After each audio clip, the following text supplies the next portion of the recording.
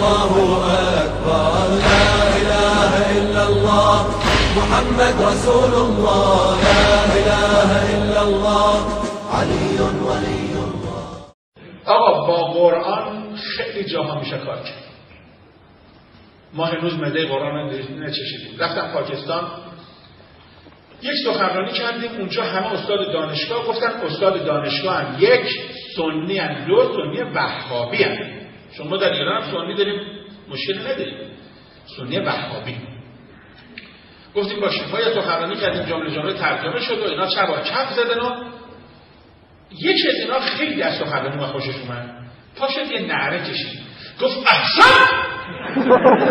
یک احسن تو گفت بعد گفت حیفش که تو شیعه هستی. حیف. حیفش که تو شیعه هستی. گفتم نه شیعه نه سنی. عمر گفت کفانا کتاب الله منم یه دقیقه همه وقت تکرار می‌کنم. قرآن بس است منتها من از قرآن ثابت می‌کنم چرا شیعه هستم. به سه دلیل در یک دقیقه. با آیاتی هم که همتون حفظید حساس شدن. یه دقیقه. سه تا آیه که همه حفظیم با یه دقیقه ثابت کنه چه شیعه هستن بگو.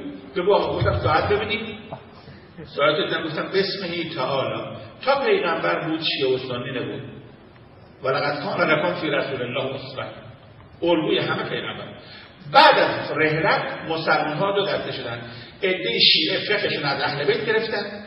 اهل سنت هم فقهشون از چهار تا عالم دیگه گرفتن. ابو حنیفه با مالکی و شافعی و حنبلی. هنو یه دقیقه شده من که فقه از اهل بیت گرفتم؟ سه آیه قرآن دیدم قرآن راجع به اهل بیت میگه یا تحقیرکم اهل نگفته یا تحقیرکم مال ابو حنیفه و مالک. دو اهل بیت که من دین ازش گرفتم قرن اول بودم. چهار عالم شما متولد قرن دوم هجری هم. ما یه قرن جلوتریم قرآن میگه از سابقون از سابقون سه تمام اهل بیت شهید شدن. و آلیت الله شما شهید نشد. قرآن میگه فضل الله المجاهدین.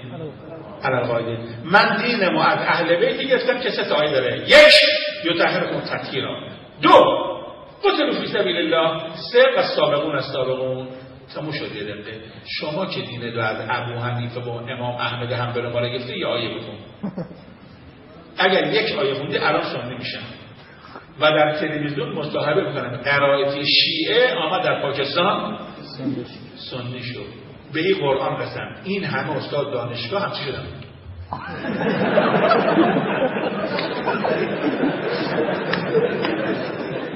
یک دقیقه. چرا شیعه شدن؟ با سه تا آیه حفظه وقت حفظ نیست که شما با قرآن آشنا نشید بچشید و بچشونیم.